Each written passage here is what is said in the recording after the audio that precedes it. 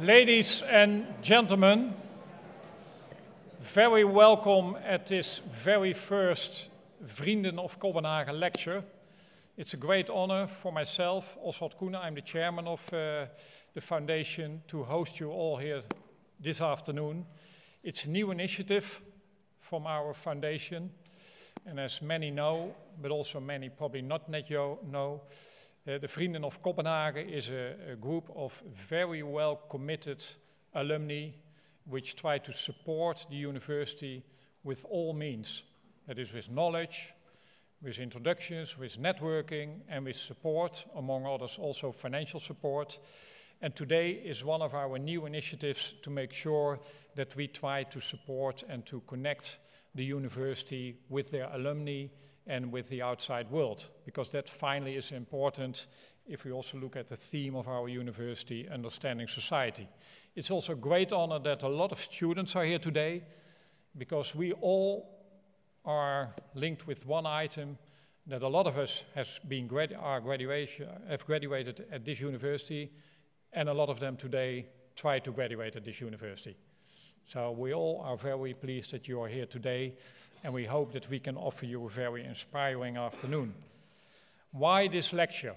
Um, because we do have a lot of initiatives from our foundation, uh, boardroom meetings, all kind of other networking activities, uh, but we believe that it is very important to bring uh, high-level knowledge to this university by which we can also reach the current students. And what we finally hope, of course, is when they finally graduate, that, way, that they will become a new friend of Cobbenhagen and that they again can support the university for many, many years. So we like to contribu contribute with our activities to our international orientation of this university. And for that reason, we are very pleased and honored to host this afternoon Professor Dani Rodrik here. So once again, thank you for being here. You flew in this morning out of Boston. So the first thing I did this morning was looking outside whether there was a big fog and you could not land here. And then we had a big problem. But we are very pleased that you are here and take the time to uh, honor this very first lecture.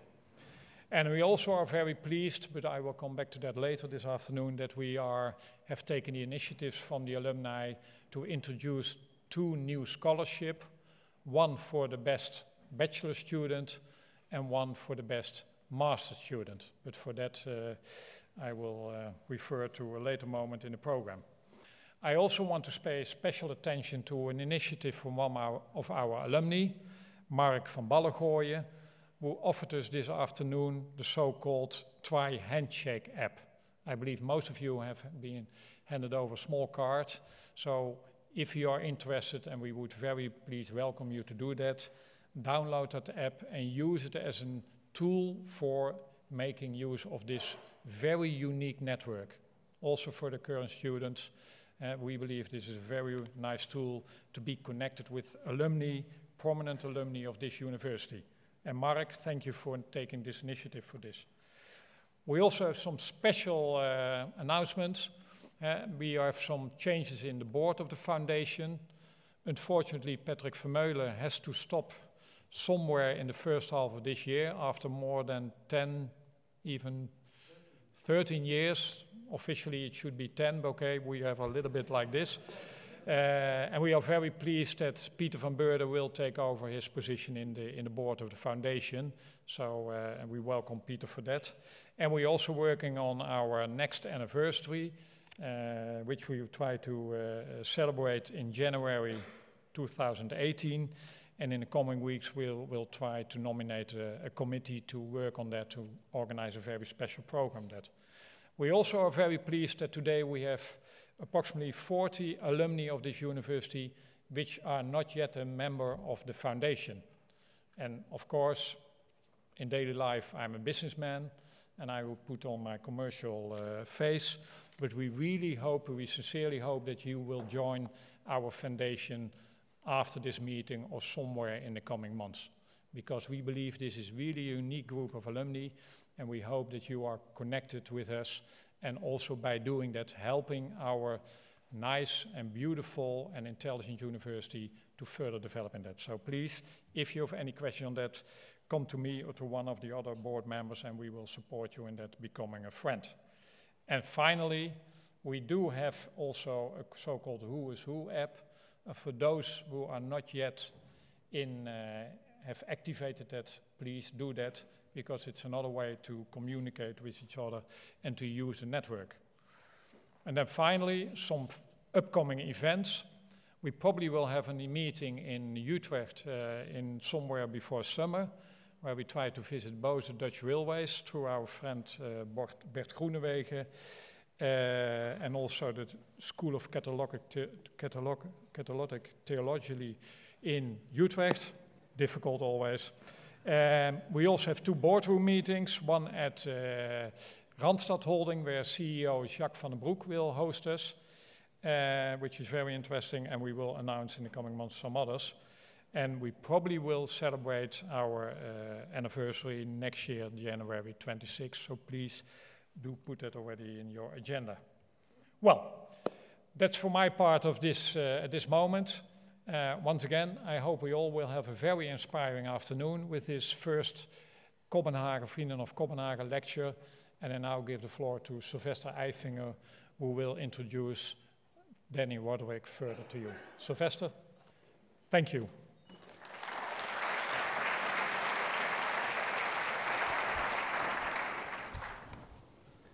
A glass of water, please. Is that possible?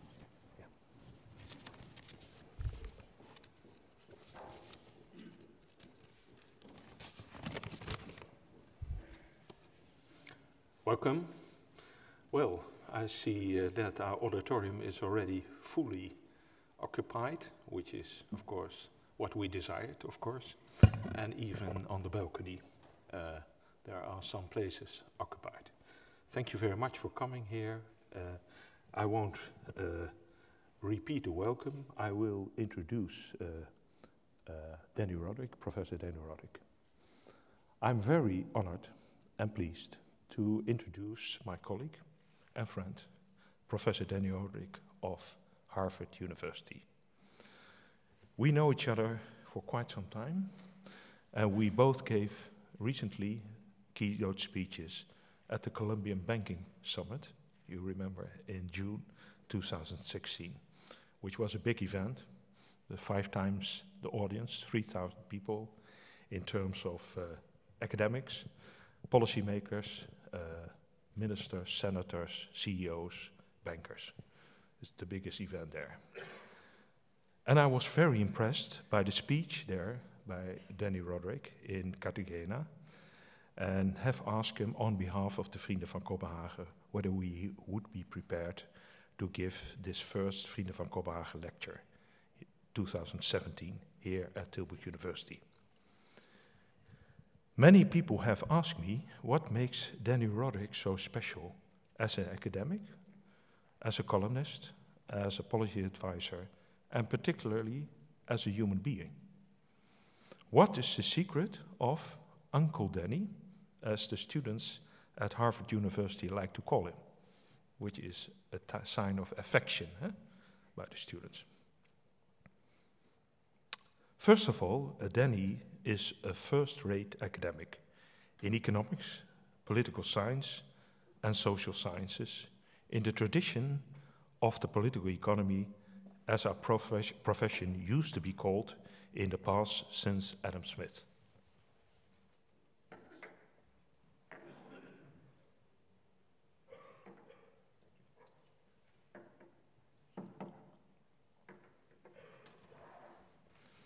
Then he published path-breaking thoughts in his books on globalization, inequality, and his famous trilemma, and also on the rights and wrongs of economic science, which we will hear more of today.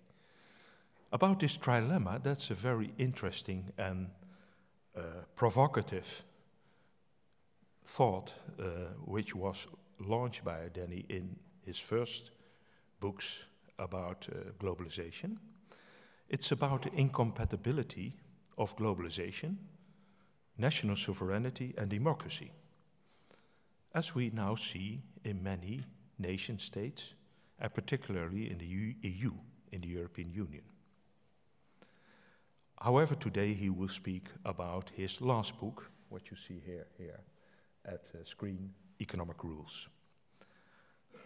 And with this, these books, especially with the last book, uh, he fits in the tradition of our founding father of Tilburg University, Professor Martinus Cobbenhagen, the priest economist Martinus Cobbenhagen, and the way Martinus Cobbenhagen saw the raison d'etre of our university by striving both for academic excellence and advancing society.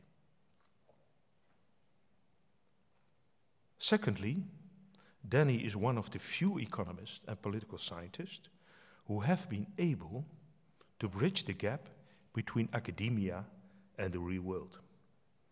He published in the most prestigious academic journals.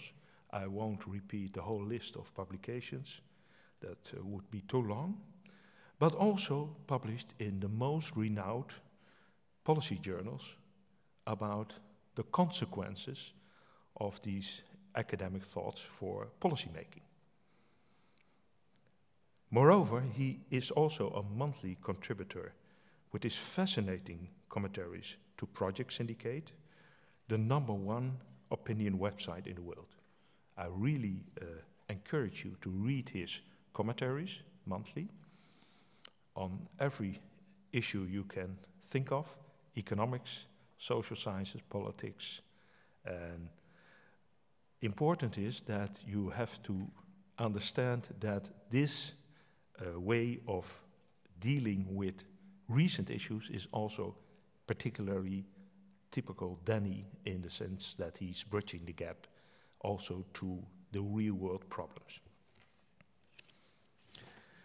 And thereby, he has not only changed the economics and e political science profession, but also in the way important institutions like the International Monetary Fund and the World Bank have changed their perspectives and views on globalization and inequality.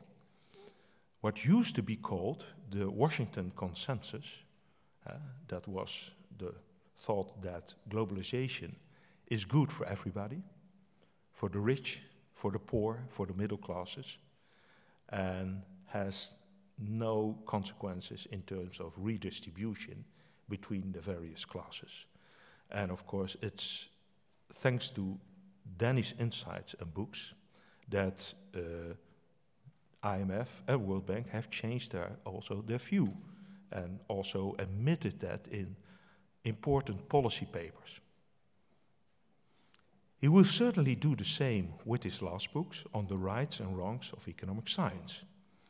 In that book, Danny takes a close look at our discipline to examine what falls short and when it works. He argues that economics can be a powerful tool, I quote, that improves the world, but only when economists abandon universal theories and uh, focus on getting the right co the context right. His book is a forceful critic both on Eh, the economics profession, but also a defense of the discipline on the other hand.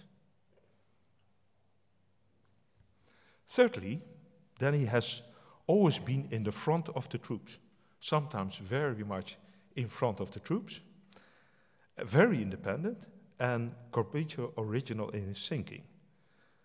But what I admire most of all is that he also is very courageous. Courage is also important. In maintaining your course, as opinion leader, sometimes against all vested interests and mainstream thinking. And that's not easy. Without offending any colleagues in the profession. He's very elegant and very uh, gentlemanlike in that. That attitude has to do with his personality and his development as economist, a political scientist, but also as a human being in the past decades.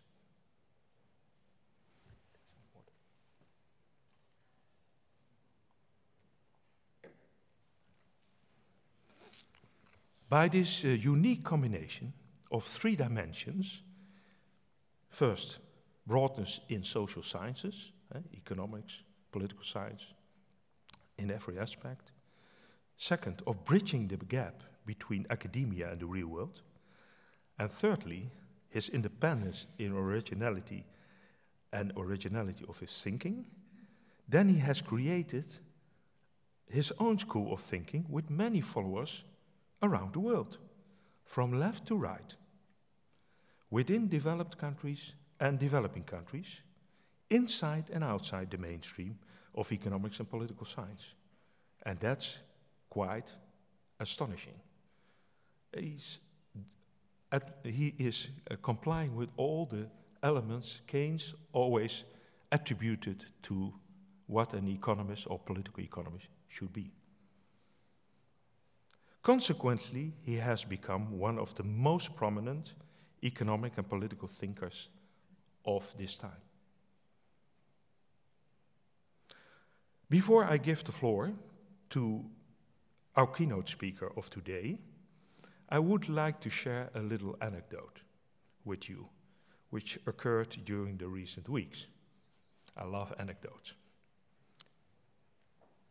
When the Vrienden van Cobbenhagen lecture was announced, I was approached by many economists, editors of newspapers and other media in our country. Uh, countless. Because we were re restrained in the number of interviews by time limitations, we were forced to choose two sets of newspapers, uh, which for having exclusive interviews with Dani, and had to regretfully decline the other request of newspapers and other media. What happened is typical for the fame and standing which Dani acquired as opinion leader in economics and political science and globalization inequality on the rights and wrongs of economic science. The other newspapers who couldn't have an interview phoned him at his Harvard office for having also exclusive interviews on globalization, inequality, and other issues, which was quite interesting. Of course, the only two exclusive interviews, which will appear shortly, will be in the Financieele Dagblad and ASB, as combination, respectively het Algemeen Dagblad and het Brabants Dagblad, also in combination. So then you know that these are real exclusive interviews. You may have read some of his articles and books and interviews, but today you will hear him exclusively, real exclusively, live on stage. And therefore, I now wish to give the floor to the keynote speaker of today, Professor Dani Rodrik, who will share his thoughts with you. Thank you.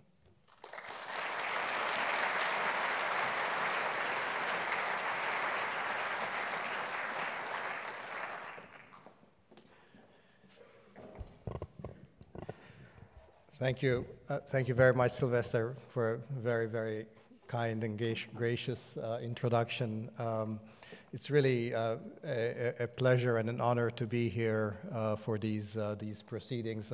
Uh, I, I, might be a bit jet lagged having arrived only, only this morning, but um, I'm, I'm, I'm, very excited to be here with you.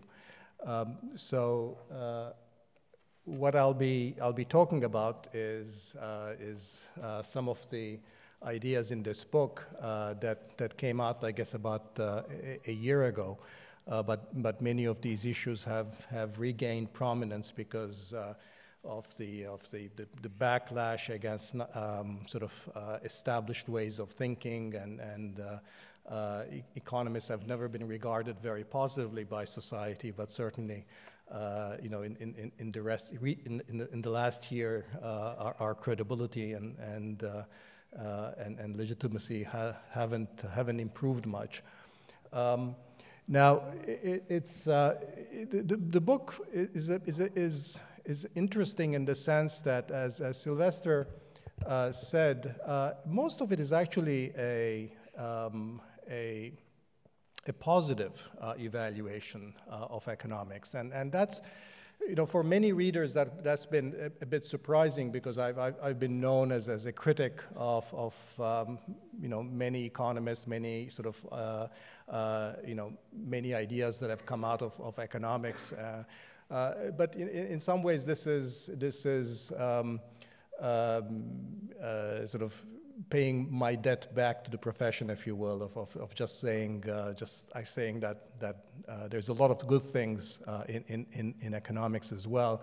Uh, and I guess part of it is also due to my contrarian uh, nature, which uh, I think Sylvester alluded to, which is that you know, by the time an idea such as you know, economics is, is no good becomes conventional wisdom, you know, I, I, I, get very, um, I get very um, uh, sort of I, I, feel that, that it's already it's, it's a wrong idea and, and needs to be uh, needs to be uh, fought back against. So uh, so here I'm, I'm I'm fighting if you will rearguard action to defend ec economics against its critics. Although as you see. Uh, I think you know some of the points that I make is really about how economics has been used in, in the public domain uh, by economists. So I, I, do have my criticisms as well. Um, but I hope maybe at the end we can also tie it uh, back uh, with sort of our discussions about what's happening with globalization, uh, the, the populist backlash, and, and, and so forth. Um, let me begin with, um, with uh, um, you know, probably you know, the one time everybody hears about the economics discipline is in October when the Nobel uh, Prizes uh, are, are, uh, are announced. And of course, the critics, critics of economics always say these are not real Nobel Prizes, and, and there's a sense in which they are not. Uh, but but that's, a, that's a different story. Here's um, you know, the, the, people who won, who won the, the Nobel uh, uh, in economics, I guess, for the last four years. Um, and, uh, uh, and I think this, this, this really represents the best and the brightest uh, of the economics profession. And, and then um, uh, and, and, they present a side of the economics discipline, which actually is very different from the side that typically uh, the public sees. And I think, you know, I want to start off as to sort of what's critical and what's the, the, the absolutely wonderful thing about economics that, that these people represent that you actually don't often get from the way that you hear economics represented in public debates or whether it's inequality and globalization. Um, one thing is that, you know, somewhat paradoxically, none of them has actually contributed a very big idea. Uh, what they have done is, is, is develop uh, sort of a, a, um, collection of frameworks. Um, and so, for example, the last uh, year's winners, uh, last October, was Bengt Holmström and Oliver Hart uh, on the left at the top, and they won the Nobel for collectively for their work on contract theory. And that's really a collection of frameworks, what I will shortly call models, collection of models uh, that explain in highly stylized settings uh, how uh, you might de devise the incentive arrangements in a setting where uh, the interest of uh, what's called a principal, for example, the owner of the firm, diverges from the agents, for example, the manager of the firm. Uh, and you can apply that kind of framework with, you know, some, you know, with, with minor uh, changes to a whole lot of different things. Right next to them was uh, is Jean Tirole, who won the, um, uh, the prize the, the year before uh, for his work on industrial organization. What was that? Again, a collection of frameworks about how to think about issues of regulation in very different idea in different domains um, of whether it's sort of, you know, credit cards, whether it's, uh, you know, the railroads or whether it's the internet. And I remember distinctly a, a journalist, uh, you know, so I think it was the New York Times, interviewing Jean Tirole and asking, desperately trying to get at sort of what's the big idea here? What's the big message that's going to be the headline French economist wins Nobel for? Um, and uh, pushing him on uh, sort of what's the big idea in your work and Jean Tirole having you know, tremendous difficulty articulating what that big idea is. And in the end, he sort of gets very you know, frustrated and says, look, there is no big, he said, you know, every market is different. You know, the way you would regulate the internet is different from the way that you would regulate the credit card business, from the way that you would regulate, you know, the railroad industry. And what my models do is highlight some of the salient effects in different settings of these different kinds of market relationships and how re regulation might work. But, you know, it's not a big idea. Similarly, Angus Deaton uh, at the very, and on, again, on the right, on the sort of he won, the, he won the Nobel for, you know, basically empirical work in development. Again, it's a, it's a series of empirical applications um, in different settings, uh, you know, typically to rural households and their decisions on how to consume, how to save, um, uh, what to produce, and so forth. Um, no, no big idea, but sort of very careful empirical application that you know, tries to get at you know, some basic economic facts, such as what is, what is the price elasticity of demand uh, for rice, and how does that depend on you know, how, how, big your household is or what your income level is, and so forth. Okay. Um, so it's, it's, it's, you know, it's, it's very different from the way that in, in, you know, economics is sometimes presented as you know, sort of the market, and sort of market is this wonderful thing, or state intervention, or being pro or against globalization.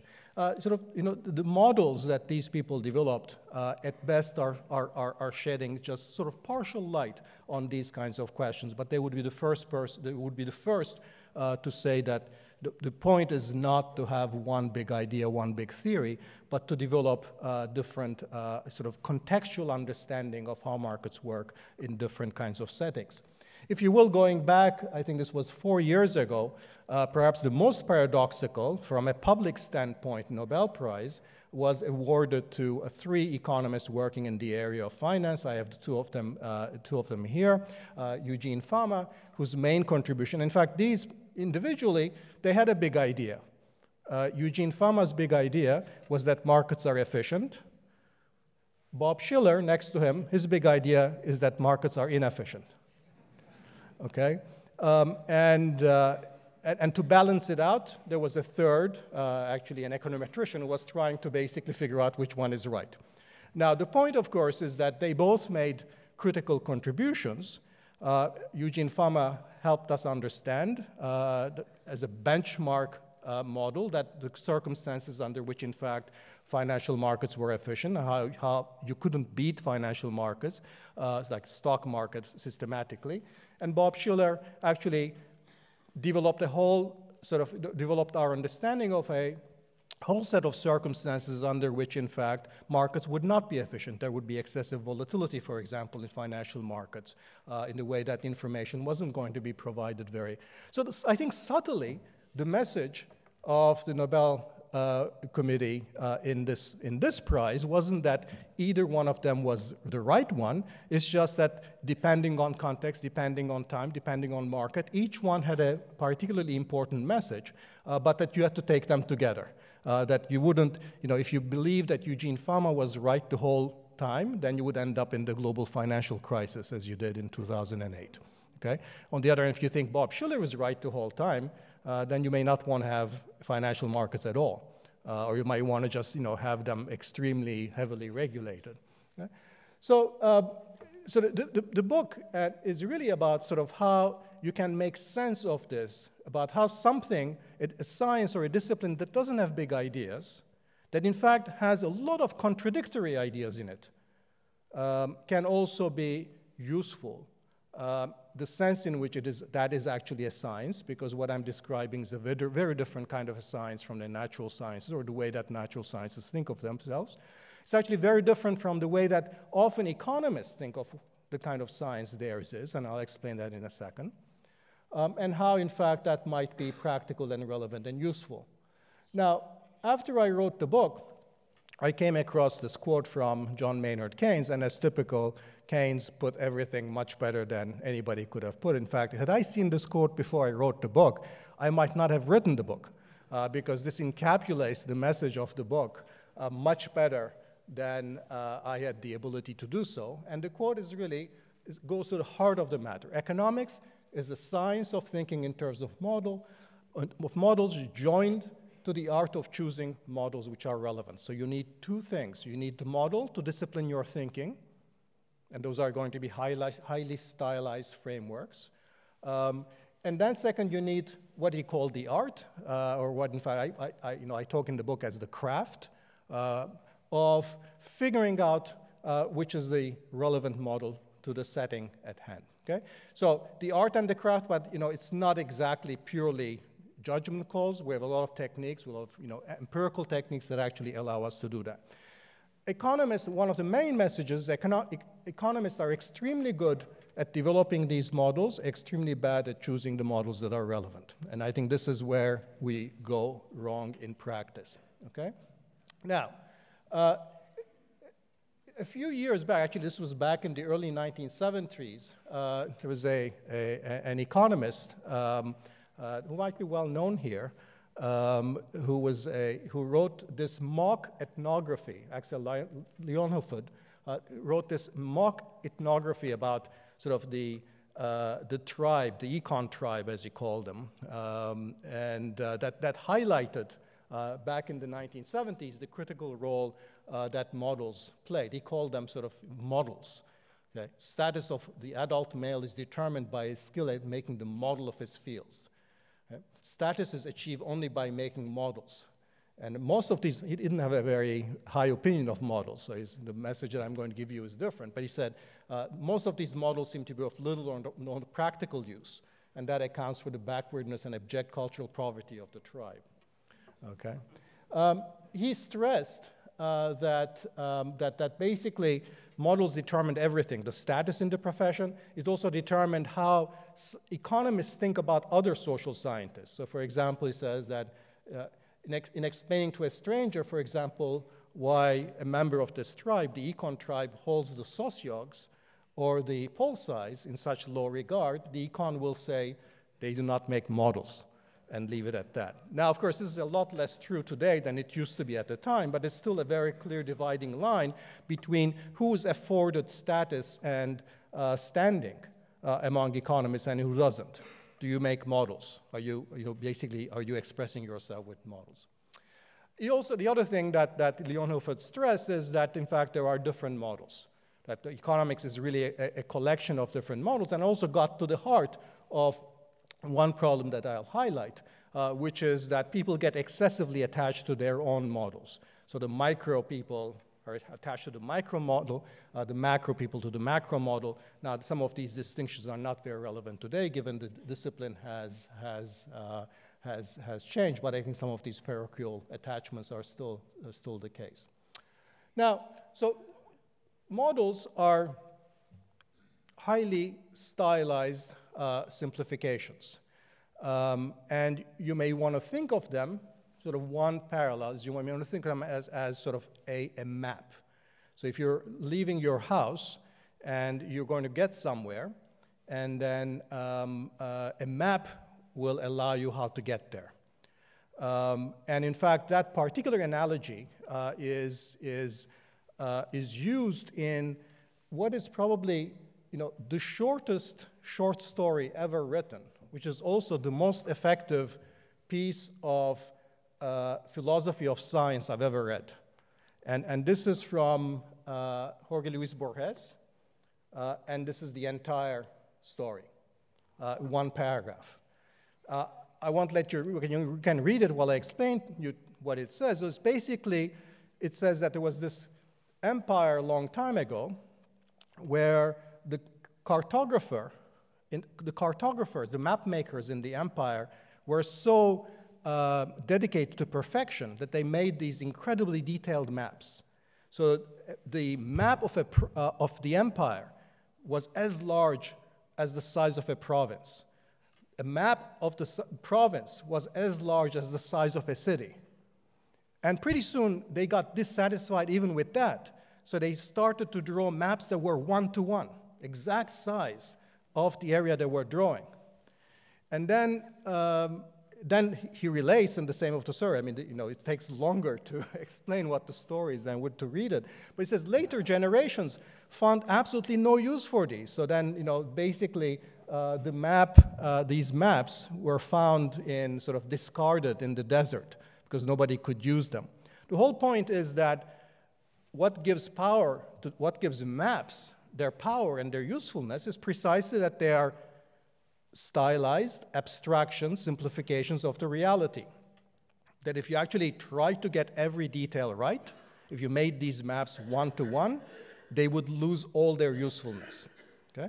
So, extremely important point that you can never legitimately criticize a model because for its being simple, because simplicity is its virtue, the whole point. It's a bug. It's not a bug, it's a feature. Um, you can criticize it on other domains as I'm going to do it, but the you know, sort of first line sort of criticism of economics or the economic approach, which is that it's based on highly stylized simplifications of reality, is not a legitimate criticism at all. And the answer for that, uh, I think, is, is given uh, in this quote. Now, but going on with the map analogy, the kind of map that you're going to need when you step out of your house depends very much on where you're going and, and what kind of, of uh, vehicle you're going to use. If you're going to be traveling by subway, you want a subway map. If you're going to have, uh, you're going to on your bike, you know, you want a map that shows the bike paths.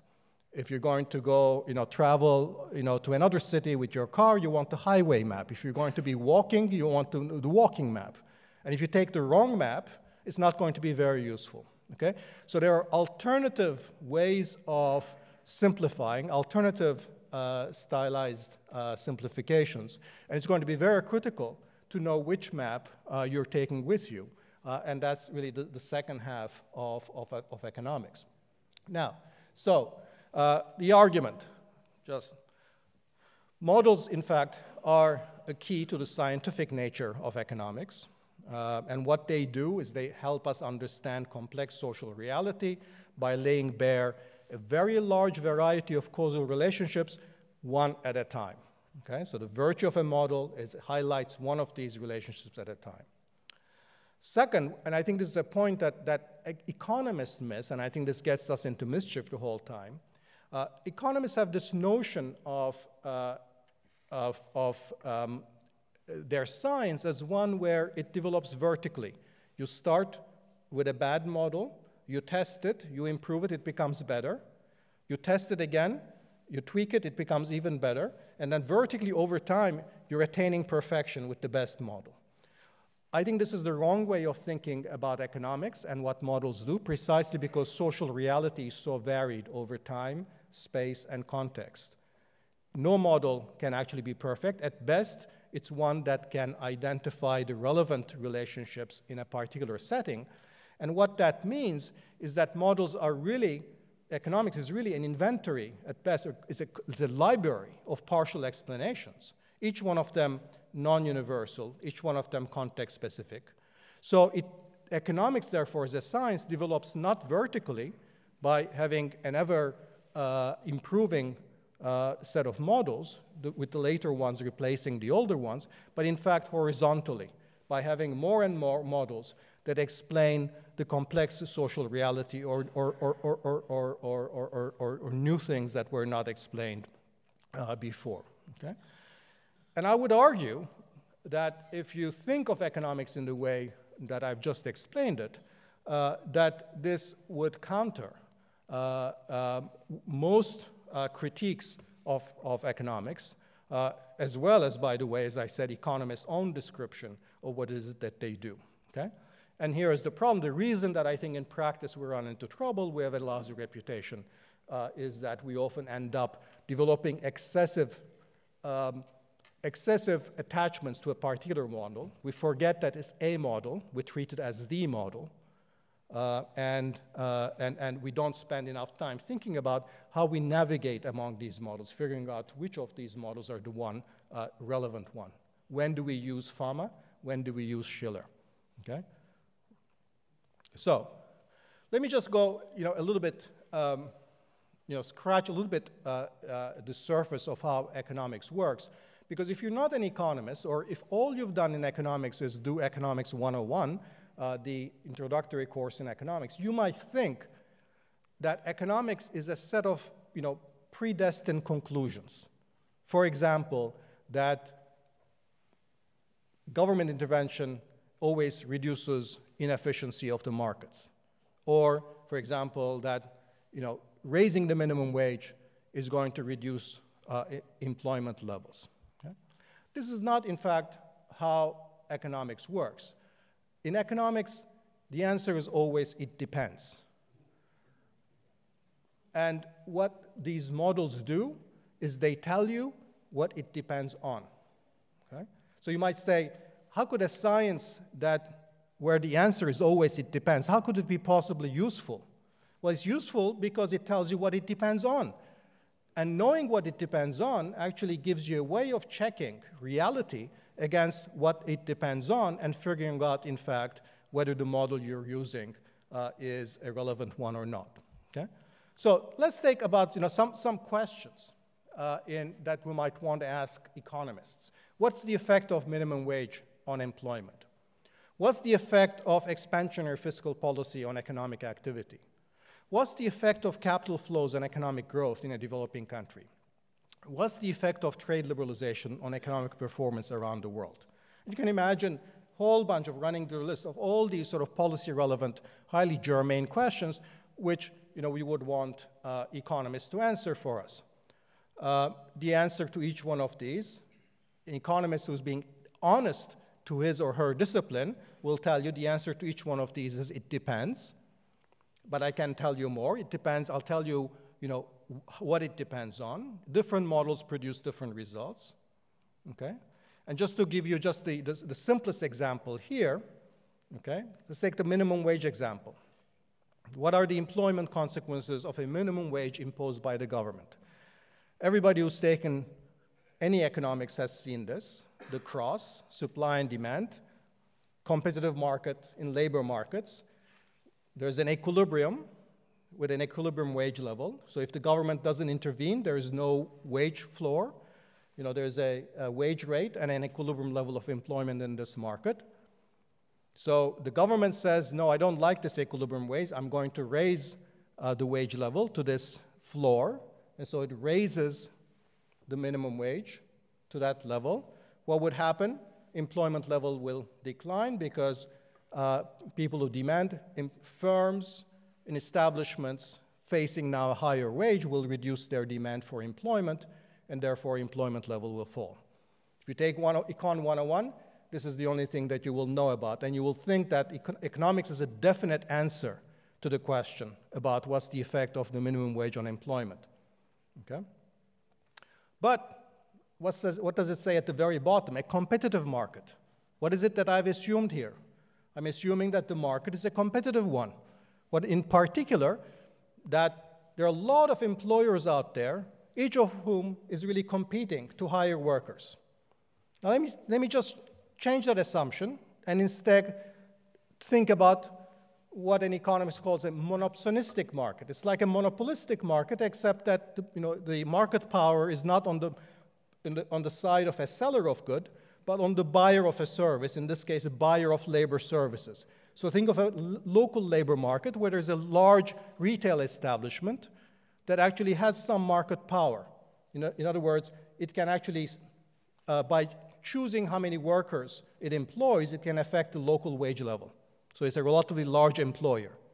So in this case, we're not no longer dealing with a perfectly competitive market. We're dealing with something that's more like a monopsonistic, then the equilibrium in this market is going to be driven by very different considerations. I'm not going to you know, run you through the mechanics of this, but I'll just assert the conclusion of this model, which is that if I actually put a minimum wage in this market, as long as it's not too high, I will actually get an increase in employment in this market, not a decrease. Diametrically op opposite result. Intuitively, the result for this, the reason for this, is that in the monopsonistic market where employers are behaving strategically to keep the wage costs low, if you now prevent them from doing that by keeping, giving them a minimum wage floor, they no longer have any ability to control wages, and therefore they act as if they were competitive. And that, that actually increases their employment level. Okay? Diametrically opposite results depending on what you assume about the, uh, the, the uh, the, the, the, the, the nature of the market. Is this a curiosum? It's not. There is a huge discussion in the American context where minimum wage issues are still very alive. What's its level? Should we have one or not? Uh, whether, in fact, it's the left picture or the right one that is the relevant one. So we have a lot of empirical results that look at the effect of minimum wages in different local labor markets in the United States, and often they produce the result on the right kind of the one in the right panel. You put a minimum wage on employment, either employment doesn't change or employment level rises. Okay? So maybe it's the, monopolist, the, monop the monopsonistic model that applies there. You can apply this kind of this, and I've just given you one policy question with two different models. And, and it just runs through the entire discipline of economics. It always depends. Okay? Um, it was a, um, one of my intellectual heroes uh, is, is Carlos Diaz Alejandro, uh, a Cuban-born economist, uh, international economist who passed a, a, long time ago. But you know, one thing he wrote, I think this was back in the 1980s. He said, by now, and he said this was 1980, he said, by now, any graduate student, by picking his, his assumptions appropriately, can produce any policy conclusion he or she wants in economics. Okay? Now, that doesn't make that policy conclusion the right one. The point of producing that is that it makes it explicit exactly what that conclusion actually hinges on, and therefore leaves that conclusion challengeable on the basis of whether the critical assumptions that derive that conclusion uh, hold in the real world or not. Now, we can think of, you know, I'm going to give you two different ways of thinking about economic models, which I think, in terms of the rhetorical value of models, uh, they're powerful. One is that you can think about economic models as actually fables or little uh, parables. Uh, they are very simple, uh, they're explicitly not real, artificial. They have a very clear storyline, so you can remember what, what you can have, what they, they, the story they sell.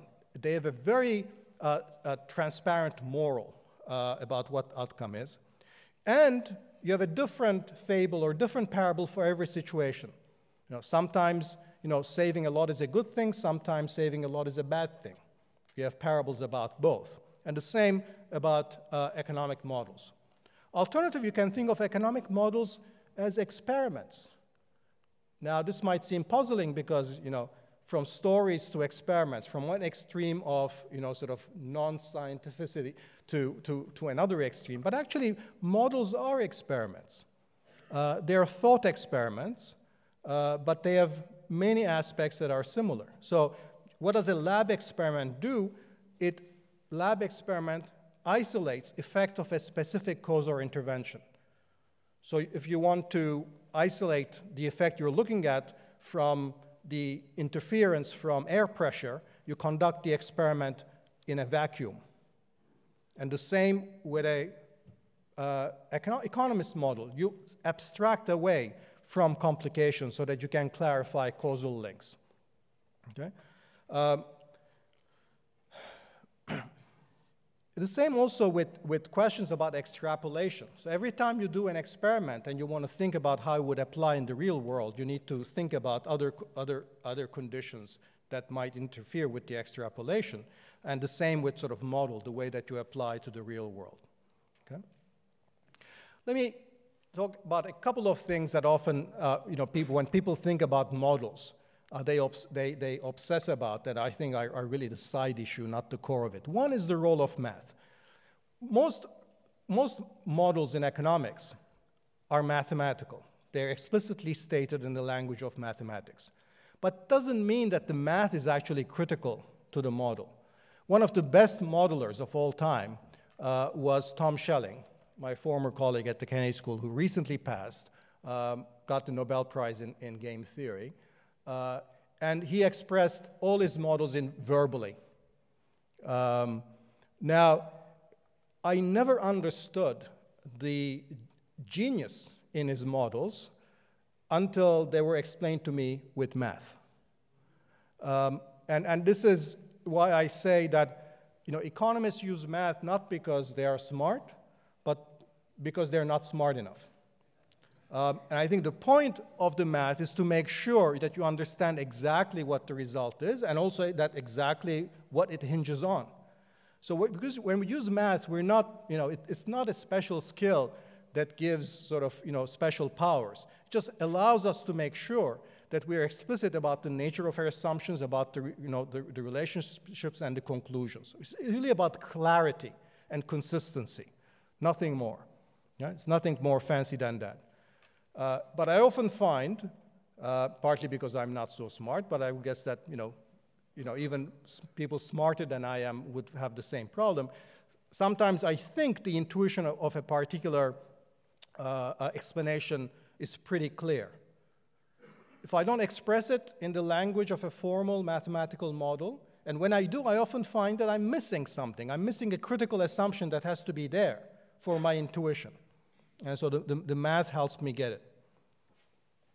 Um, second, uh, you know, often we think about uh, you know, the, the, economics working in a model where everybody is hyper rational and completely self interested. Okay? Actually, neither feature is critical to economics, and, um, and, and both can be relaxed. So it's really a side issue. Uh, third, um, very important point about sort of the assumptions. It is in the very nature of modeling that you have to have unrealistic assumptions. Every time you're abstracting away from some feature of the world to create a simplified model, uh, you are um, uh, producing some unrealistic assumptions. And I think Milton Friedman um, tried to assume that, uh, tried to argue, um, saying that basically relevance of the model had nothing to do uh, with the realism of the assumptions. Uh, I wouldn't go that far, but I would say that what's really critical, what's really important was, was whether the critical assumptions uh, um, are true or not. And the difference between all assumptions and the critical assumption is that a change in the critical assumption would change, uh, you know, moving the critical assumption in the direction of making it more realistic uh, would actually change the result in a substantive way. Not changing all assumptions need not do it in that way. That's, let me just flip that. So uh, when I say, you know, when I say that, that um, e economics is really sort of these models are making uh, economics uh, a, a, science or a scientific discipline, uh, what exactly do, am I, do, do, I have in mind? One is, is, is the point that I've, I've um, kept stressing, which is that models allow us to be ex extremely clear and transparent about uh, the nature of uh, the story we're telling, about the hypothesis, the, the causal chains. Um, Second, um, having models, having these abstract models help us precisely select which one of these partial explanations may be the more relevant one in a given setting. We can do it after the fact through formal statistical or empirical tools, or we can do it in real time uh, and that sort of would be like applied policy analysis with having these, you know, each one of these stylized models have different implications, different assumptions. We can test them in, in, you know, uh, in, informally against the, against, uh, against the real world and decide. Third, very important, uh, is, is, and this is a feature of economics that I think is extremely important that often many other social sciences lack, which is really it's a method of sorting out disagreements. Uh, it's a difference between uh, arguments that can, can, be shown to be wrong versus those in the, in the famous phrasing of, of Pauli, Wolfgang Pauli, arguments that, that are not even wrong in the sense that, that you don't even know how you disprove them because they are stated in such loose, informal way. So even when two economists don't agree, they know exactly what it is that they're not agreeing on. And oftentimes, what is it that they're not agreeing on may be something that relates to the real world and that can be formally or informally tested. For example, the magnitude of the elasticity of labor supply. If you think the elasticity of la labor supply is very low, then you wouldn't care too much about high tax rates. And you would think that as long as high tax rates provide a lot of resources for transfers, that would be good for equity without very negative consequences for efficiency. If the labor supply elasticity is very large, then you worry a lot about the incentive effects of high taxes. You'd worry that a lot of people would be dropping out of the labor market or working less, so there would be high price to pay for more equity or for more redistribution. So there we are. What appears to be a very significant ideological uh, uh, disagreement between the left wing and the right wing in economic policy and economics actually boils down to one very specific parameter in a model, okay, which can in principle be estimated. Um, and, and finally, sort of the point about the, uh, the accumulation uh, of, of, knowledge, uh, which is that, uh, that it, it's, it's really uh, it's, it's a horizontal accumulation. That when you think about how our understanding of the way markets work, it hasn't developed because better models have, have replaced worse ones. You know, we had the, you know, the perfectly competitive model that was the one that uh, Adam Smith was talking about. Then that perfectly competitive model was taken and we added features of imperfect competition like monopoly or oligopoly, but that didn't replace the perfectly competitive model because some models are you know, some, some markets are more akin to perfectly competitive than imperfectly competitive.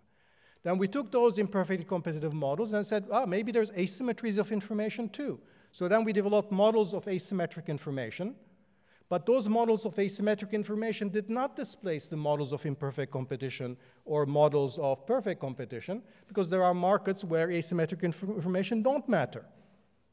So you need all those models and you will sometimes you'll apply one, sometimes you'll apply the other. Okay. Now, sometimes the, you know, one of the good things that has happened uh, in the economics discipline on the last, ever since I, actually I got my PhD, is that it's becoming much more empirical. And, and doing things empirically really leaves much less room for ideology, because the empirics discipline the kind of conclusions uh, you, can, you can derive.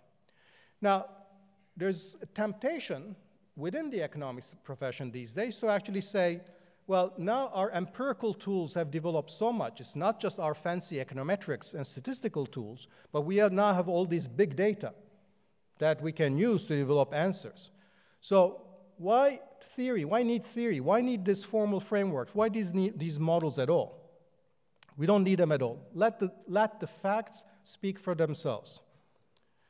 Um, I think this is actually wrong way of thinking uh, in the social sciences because facts never speak for themselves.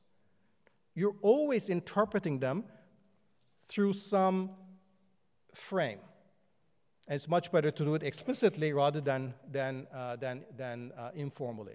Uh, on Twitter, somebody I don't know actually gave me the perfect example of that, uh, which was that, that he mentioned if you, if you toss a coin 10 times and nine times out of 10 it comes up heads, you look at this and say, that's a surprise. Are the facts speaking to here? Well, why is it it's a surprise? Because you had a prior expectation that this coin was fair. You have a model of a fair coin, and if you toss a fair coin 10 times, on average it'll come out five times heads, five times tails. So there's an implicit model that you're applying to that, the simplest of facts, how many times it comes up heads or tails. But in the absence of that, what do you make of that? You don't know. Uh, so every fact requires an interpretive frame. And I think our obsession with big data and a lot of statistical techniques often ignores that without even getting into the question how you would actually uh, um, extrapolate uh, any finding from a particular locale to somewhere else. And that always needs modeling. All right. Um, there are a lot of uh, different approaches. I said that, that the critical thing to use these models intelligently is going to be uh, to figure out when you apply one model as opposed to another. When do you apply Fama? When do you apply Shiller? When do you apply the monopolistic labor market model? When do you apply the perfectly competitive labor market model? Economists actually have a lot of formal and informal ways of doing that. And um, I, have listed some of these uh, here. Uh, getting into them probably would, would become too technical and would be, would be too boring. But the point is that, that we have a lot of techniques for navig navigating across these, these models. The, the striking thing is that, that you know, in economics, we rarely systematically teach these techniques. The, the, the, the, uh, the approach to focus uh, tends to be in undergraduate classes, in the basic competitive model with all the benchmark results, So you get a very misleading view uh, about the diversity of uh, results within economics. And in graduate school, if you're a PhD student, you do basically all the latest models, the, the ones that are, you know, the, the, the latest fad or the fashion. Um, um, and, and we don't actually do um, a, a, good job of teaching our students uh, about the value of this diversity and the need to think about both formally and informally how to uh, navigate this. In my own work, uh, I, I, tend to do a lot of work on economic growth in the context of developing countries. And doing that work is always trying to navigate different models of economic growth. You know, going to you know, Ethiopia, is, you know, which model is the relevant growth model for Ethiopia? Is it a neoclassical model where I would look at physical and human capital? Is it the endogenous growth model where it's all about R&D and product market competition? Is it a trade and growth model? Is it a dual economy model? Is it a structuralist model? Is it the institutionalist model? Each one gives sort of a different focus and therefore a different priority for policies. Yeah? It's always the, the, the, the, work of an applied uh, policy economist is always to, to, to, navigate among across these, in, these, these different types of models and figure out which one uh, um, uh, captures the, the most relevant features. So now, let me draw back and, and sort of, you know, um, uh, begin to wrap up uh, by um, using sort of the set of arguments that I've developed, uh, although I've sort of only scratched the surface, uh, to, to confront some of the, uh, some of the criticisms uh, that, that, e that e economics is under. Okay? for example, for something I mentioned from, from, the, begin, from, the, uh, from the outset. The notion that, that so much of economics is really about developing these simplistic reductionist theories, uh, this is a feature, it's not a bug. The problem only comes when you treat a model as the model. So you treat the latest model or an established benchmark model as the only one that you could apply. Um, economists are always or are often criticized for reifying markets and material incentives. Okay? But this is not really true in the context of the, of the diversity of economic of models that exist in economics. Economics is criticized for having conservative, market-oriented bias. Again, it's not clear. There are many, many more models of how government intervention can make things better, not just for equity, but also efficiency, than there are than models that actually show markets are efficient. So I could just, you know, run, run through, this, uh, through this, this, this list.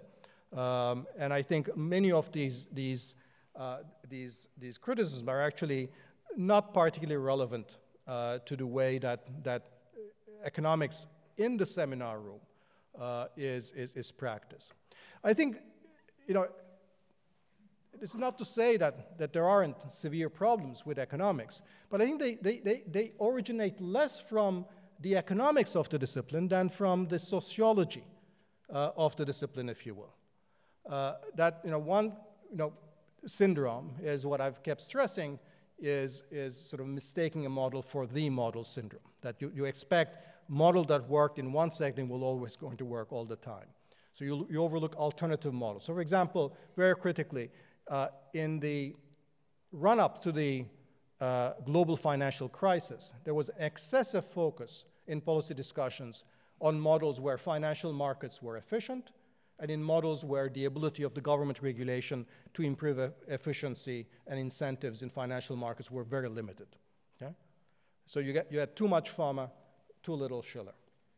Um, and that also uh, is not only gets the policy conclusion wrong, it also leads to overconfidence. It leads to hubris. I think one reason that economists lost confidence is not only that uh, they may have been occasionally wrong, but it's also the confidence with which they have uttered those conclusions have been overstated uh, in line of uh, the diversity of, of, of, of, models within their own profession. Um, second approach is, you know, I've, I've emphasized, you know, this diversity, but in practice, often economists are going to exhibit a categorical preference for certain assumptions or certain axioms. So you don't need to have rational households and investors. But typically, you know, economists will tend to you know, exhibit a preference for these you know, rational and forward-looking individuals in the way they think about markets, even when they may not be relevant. Third is, is you know, looking for the keys where the light is as opposed to where you might have dropped them. Uh, I think that's sort of in, in, in the nature of, of, of, of, economics is that, that you, you, tend to prefer questions for analysis that are amenable to, your, to the tools of analysis you have. Uh, so uh, often you miss out some of the big issues in the way that, for example, in the discussion on globalization, many of the distributional questions or many questions about social norms or social dumping in trade uh, were, uh, were uh, ignored by economists uh, because that wasn't sort of, there was an immediate relationship to the kinds of tools that, that they had developed. And one of the things that, that I find extremely problematic is, is what I call this problem of implicit political economy theorizing in policy discussions, which is to say that, that, that economists will often invol involve themselves in a political debate by taking sides and on the basis of a very poorly developed implicit political economy argument. Again, globalization. Um, in the globalization debate, economists mostly acted as cheerleaders for globalization, mostly uh, favored trade deals. Now, they knew very well, because it's in standard trade theory, that globalization and trade deals provide, produce not just winners, but they also produce a lot of losers. This you know, should not have been a surprise because it's in the standard uh, comparative advantage, standard trade theory models that they teach. In fact, the benchmark models of comparative advantage have very stark distributional consequences from opening up to trade and from globalization. So it's built in into these models. But economists would emphasize the efficiency gains, that the size of the pie would be larger.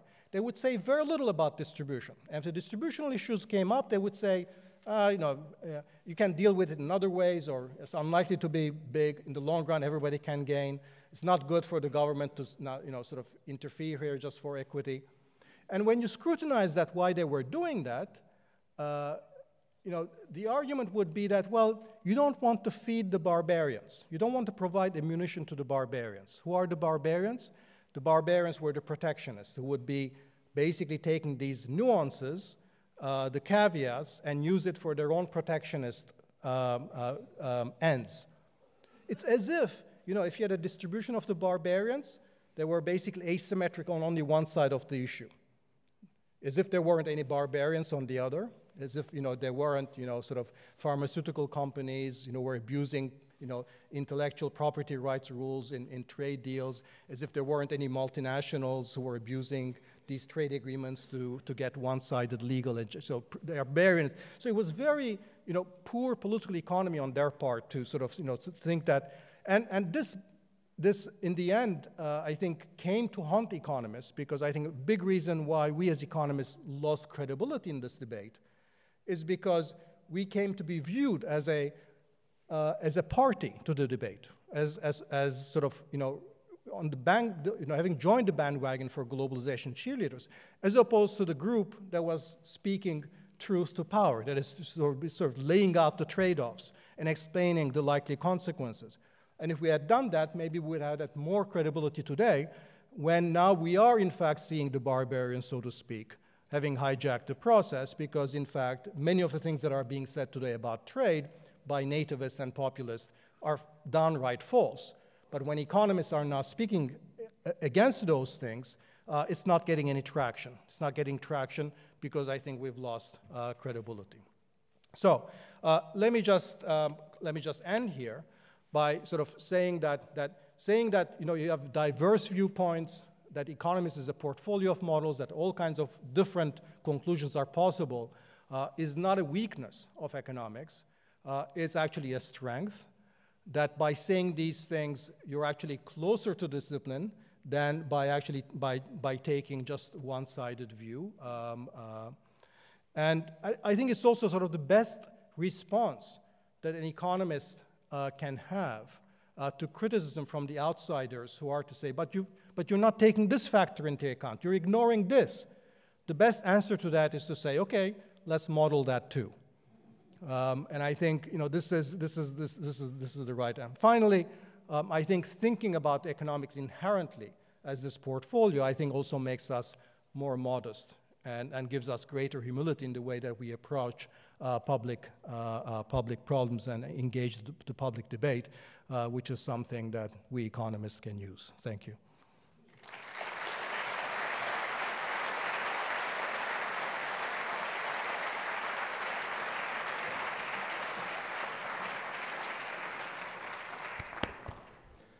Uh, thank you, Dani, for this wonderful lecture, which makes us uh, humble again and even more humble than before.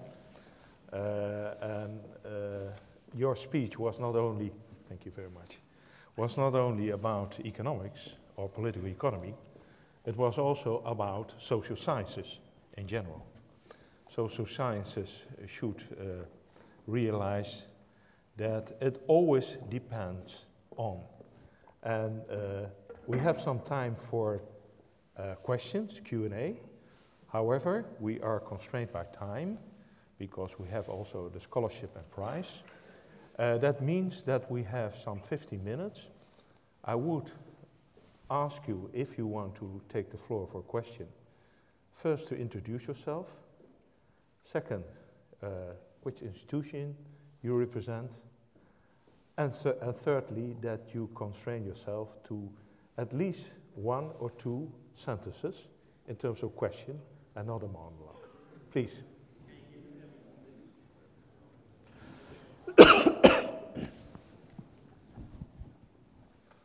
Nobody?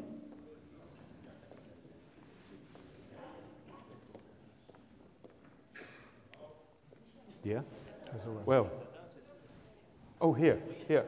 Here, sorry, here. Yes. Yeah.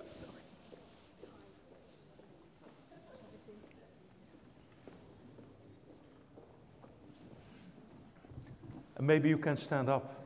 Yeah? Okay.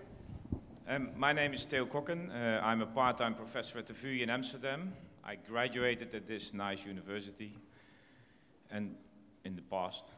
Um, and my question is, um, I'm more or less uh, fighting for uh, more pluralist economics. And you said, well, economics is already uh, quite diverse and pluralist. Uh, but um, if you look at the mainstream, what we get taught, in general, it's still very um, based on very strong assumptions about human behavior, rationality, uh, especially in, in, finance, in my area of risk management. Uh, and I think what we get taught at universities is not helpful. It's too homogeneous and too limited in um, what they're teaching. And so we are with, together with people in the UK, uh, but also here in the Netherlands, Rethinking Economics. We try to change education for more diversity. And my question is, um, here's the question. What do you think about, uh, I mean, you, you, research is diverse and there are lots of different people, lots of different models, um, but do you think that the average um, educational program is diverse enough? Yeah, great question. I, I think, and the answer is, is no. Um, I, I, think the problem is, is that, um, is that you, you, you get a sense of that diversity much, much later, once you get to be a graduate student and you're a doctoral student, and that's when you, you're, you're, you're you know, you, that, that, that, that conclusion dawns on you. Uh, but if you take just the first year or the first couple of years, then it tends to be that we, we teach just the benchmark models. So you teach, you know, you teach how markets are efficient, how comparative advantage works. And, and in a sense, you can understand you know, the, the, the, the reasoning behind that because those are, you know, the, you know, the discipline's crown jewels are these counterintuitive notions to the average person on the street. Imagine this chaos of a market where everybody's acting just to maximize their own self interest, and there's no government apparently anywhere. Course, there has to be a government to enforce contracts, protect property rights, but that's sort of, you know, in the back somewhere.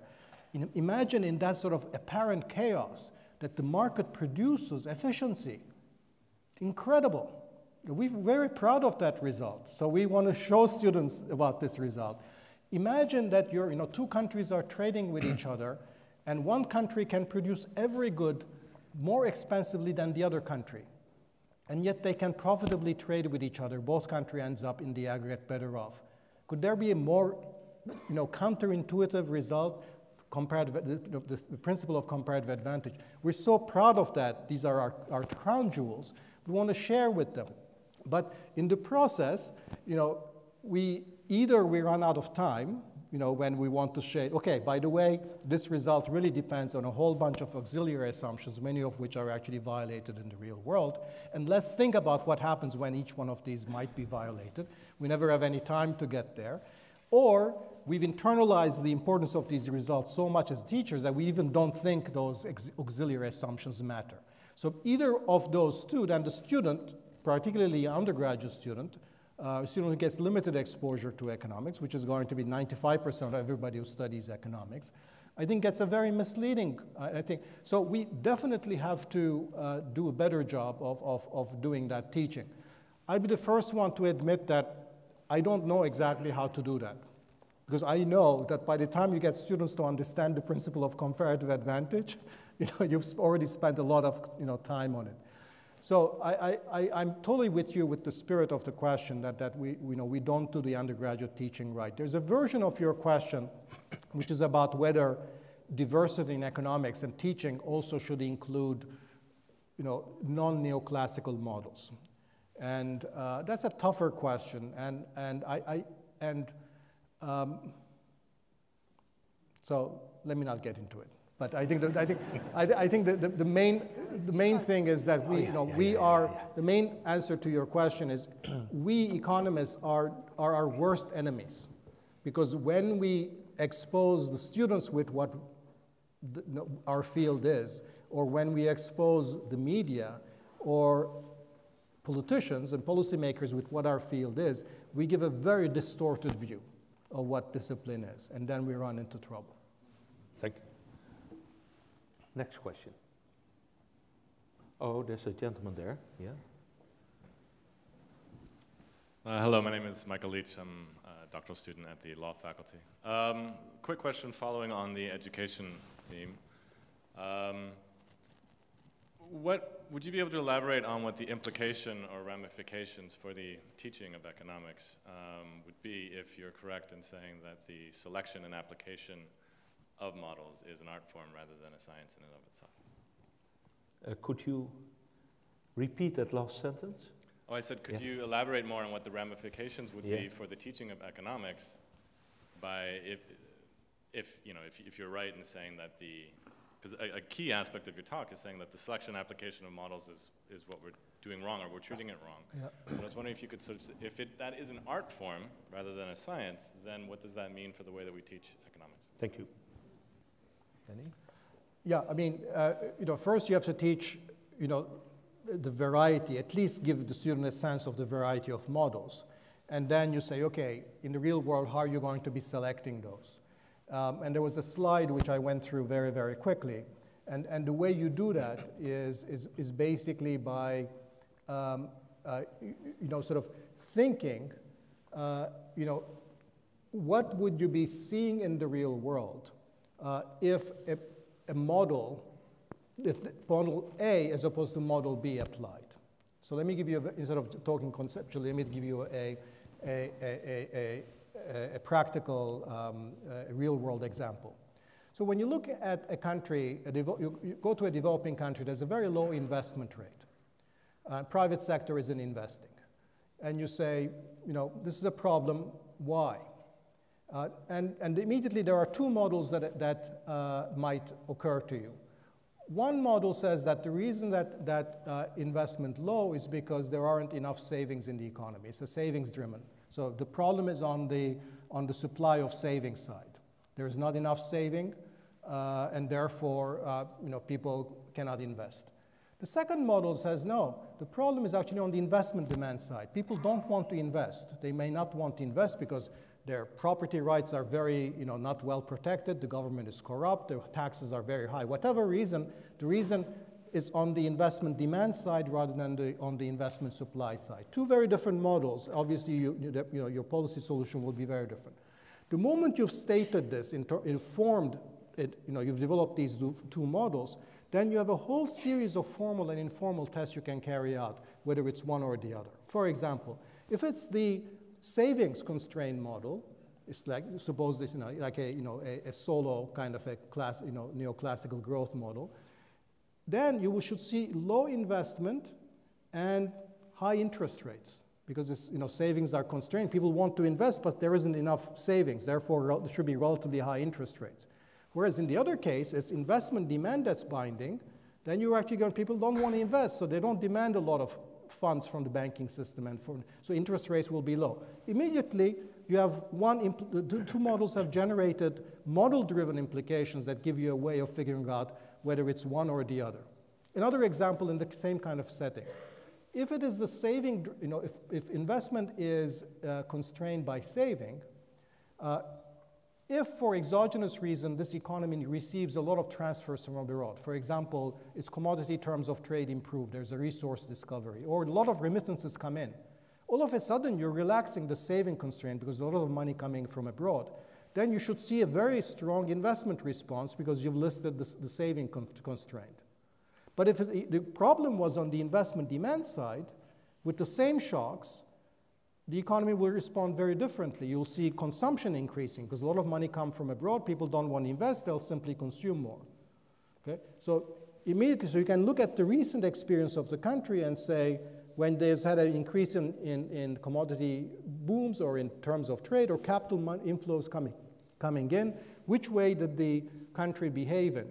Uh, and so this way of thinking, uh, doing the diagnostics of figuring out which model is the more relevant one, you can apply across the board in all kinds of, of, of models and across all kinds of, of policy issues. And in each case is sort of asking question, what does the model imply about the pattern of correlations in the data and look for differences in those patterns and then see either formally or informally whether they're, they're holding the data or not.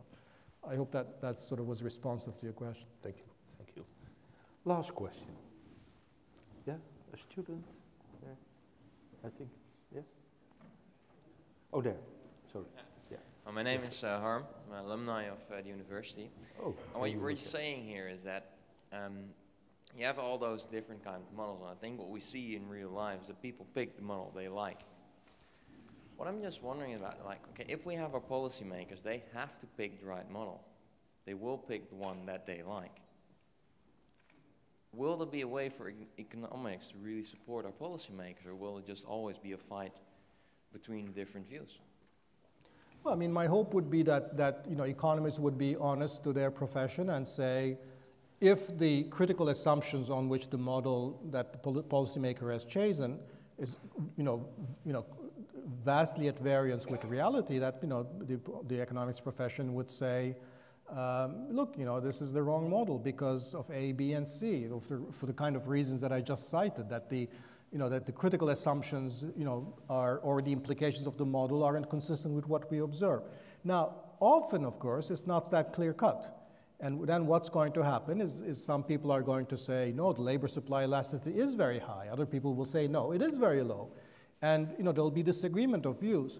Even then, what I would want to see is economists, rather than converging on some prior understanding of what's the politically correct thing to say, that they reflect those disagreements in public so that what the public hears is not what appears to be a consensus. Uh, in fact, they hear precisely the divergence of views that in turn reflects the true uncertainty in the economics profession about the value of a parameter or the value of, of, of uh, you know, the relevance of one model as opposed to the other. Because then what the public gets is a true um, um, reflection of the uncertainty uh, about which model applies. And often, maybe most often, the truth will be that we actually don't know. We're making decisions in uncer under uncertainty.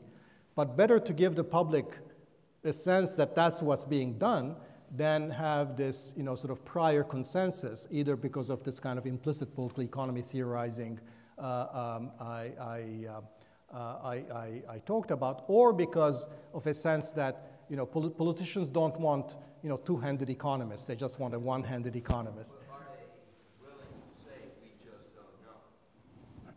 well, you know, that's, you know, that's, if you can't say I don't know, you cannot be a scientist. Yeah. Well, politicians, okay. no, politicians, you know, they can't. They, you know, politicians, but that's a different role. You know, it's, it's completely, you know, justified for a politician to say, I think this is how the world works. You know, I, you know, I think this is what is going to make uh, everything better. Uh, it's not even contingent on the politician to be explicit about what the model underlying that view is. Uh, you know, hopefully there is a consistent view, but it's not the you know, politician's view to articulate that model. Uh, but it's, it's, I think it's incumbent on, on economists to A, articulate that model, and B, have views on its relevance. Okay. Thank you very much. Big applause for Dani Rodrik.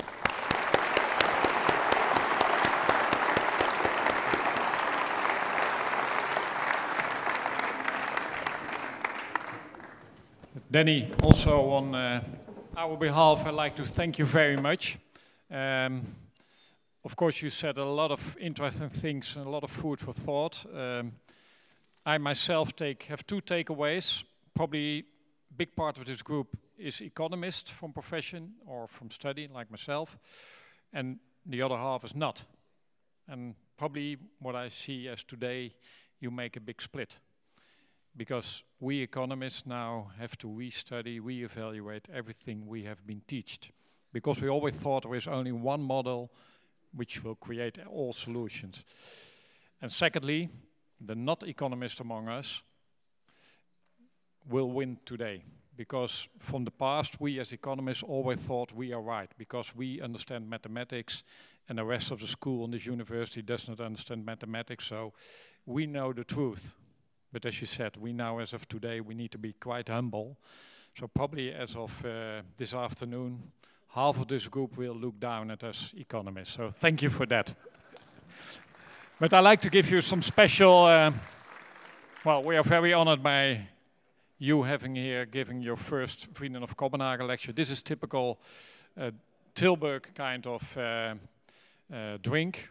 And probably most economists as of today need this more than ever when they need to answer that question, that last question, if you don't know anymore which model to apply. Thank you. And a typical university sweater. So thank you once thank again. You. Thank you very much. Thank you very much.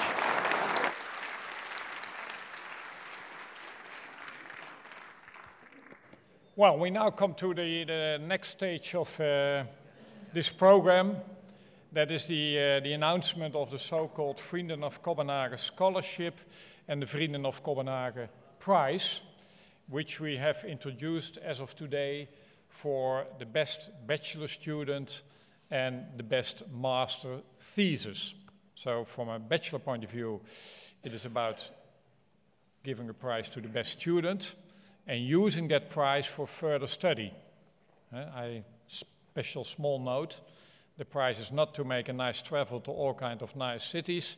It's especially used to stimulate further study, probably abroad or somewhere else, to really uh, develop yourself further.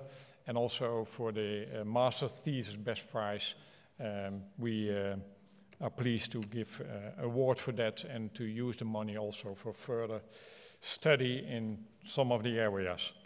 Um, and first of all, uh, I have the jury report and I will uh, present it shortly. But all persons which are named, which are nominated, are already on the top of their group. Uh, the people which are nominated here are nominated by the schools of this university.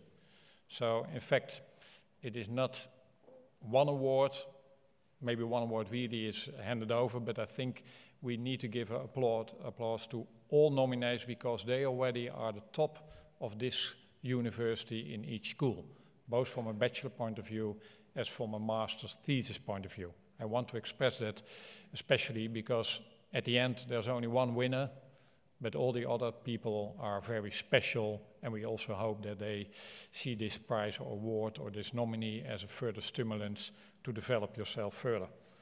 Well, let me come to the, let's call first the Vrienden of Cobbenhagen Scholarship, which is for the best bachelor student. And the two criteria we have looked at from a jury point of view is both academic excellence, but also especially societal, societal relevance, because as we have a theme from the university, understanding society, then it's very important that it's not only about academic relevance.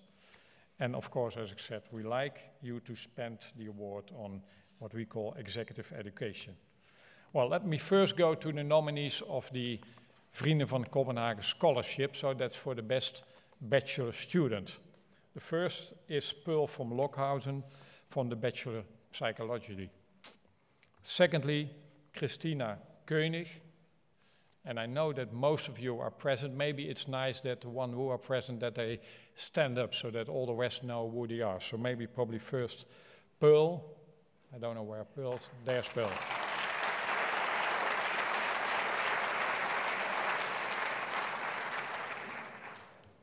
Christina Koenig.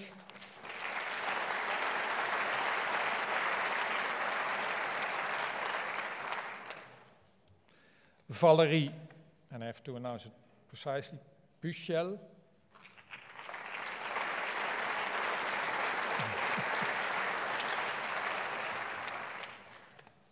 and Remco Geervliet, he took a lot of time to specially come out from Oxford.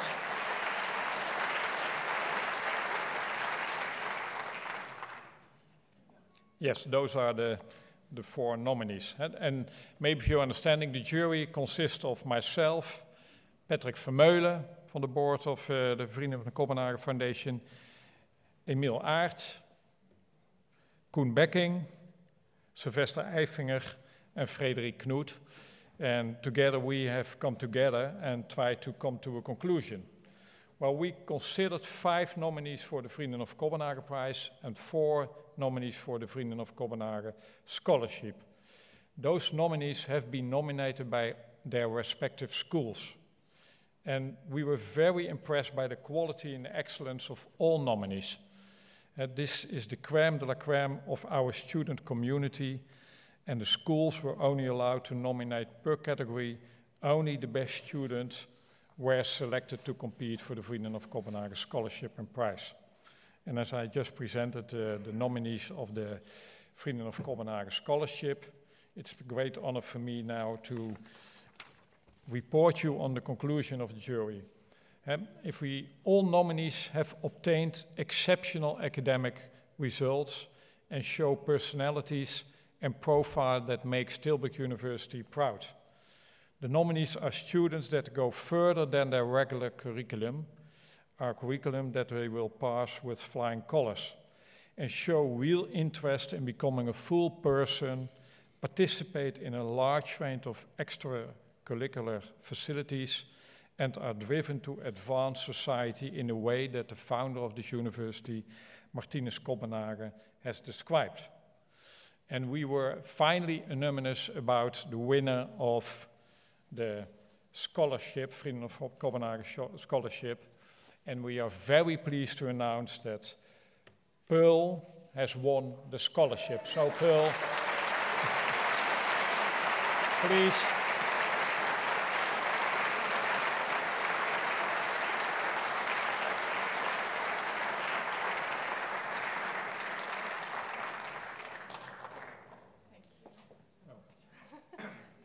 Read the, the final conclusion. The jury was particularly impressed by Pearl. She wrote an excellent bachelor thesis that her department uh, is currently, together with Pearl, turning into a thesis into an academic article. And that, especially for a bachelor student, is very special.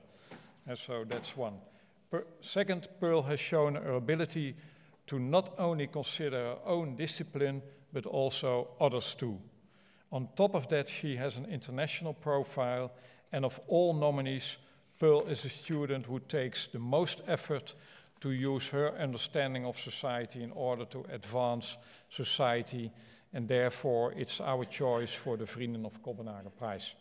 So we decided to award you this award, this first award, so we are very pleased to that. Thank you very much. Thank you. Thank you.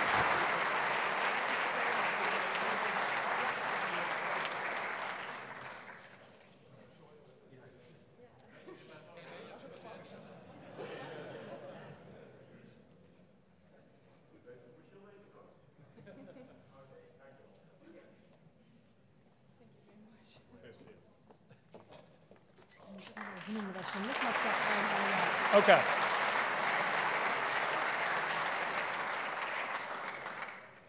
Now, now I go to the Vrienden of Cobbenhagen Prize, which is for the best master thesis um, from the different schools. And again, those are uh, put forward by all the schools to the jury.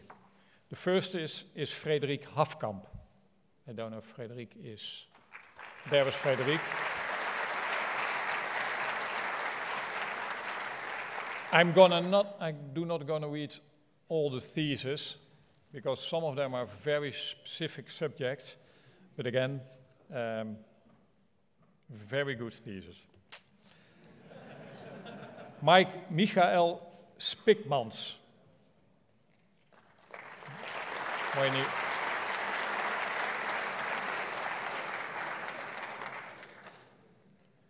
Third one, Suzanne Hendricksen.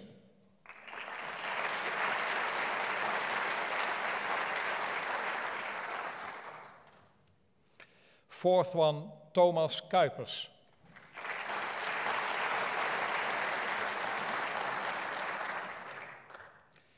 And the fifth one, Yvonne Bolsius.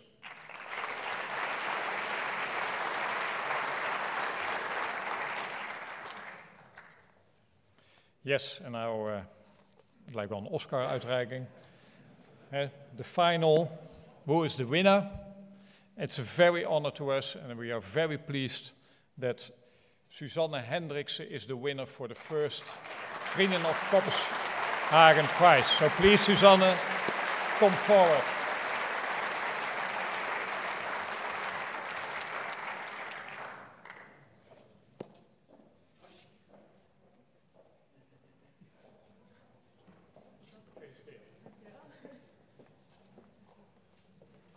Let me first uh, present to you what we wrote. You wrote an absolute masterpiece with considerable relevance for our society, something that already was acknowledged by a prize of the Tilburg University in November for economic uh, excellence, of academic excellence, and uh, that was very special. Uh, you managed to look at societal challenge from three completely different angles and left the reader with some very good conclusions and questions for further research. And we can be sure to see more of this kind of research in the years coming forward. Uh, it, was for, it was us difficult because all theses were very good at a very high profile, but we still believe, and we all were unanimous in that, that uh, we selected you because your research theme will become extremely relevant in the years to come. Uh, the, the, whole industrial and the technolo technological revolution that will change society and everything what you are writing down is for us uh, a subject that will become very relevant and will be also a challenge for society. And hopefully also this university will contribute to uh, give the answers maybe to that. You dealt with the theme in a very clear and methodolo methodological way and a thesis reads like a novel. So again, we are very pleased to award you this prize and hopefully it stimulates you to further study in this area.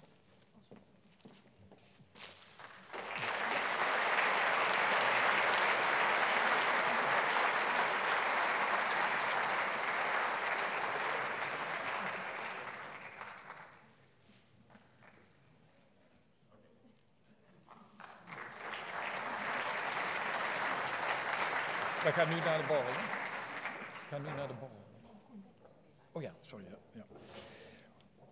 Finally, uh, both winners, we will, uh, we will offer them also uh, a first three-year membership of uh, our foundation. and of course, we hope that you will stay a friend forever, uh, because we like to have original thoughts among our friends. So before we come to a final conclusion of this afternoon, the official program, um, I'd like to hand over the floor to uh, Koen Becking, um, which will speak the final words, the closing words of this uh, official part. Koen?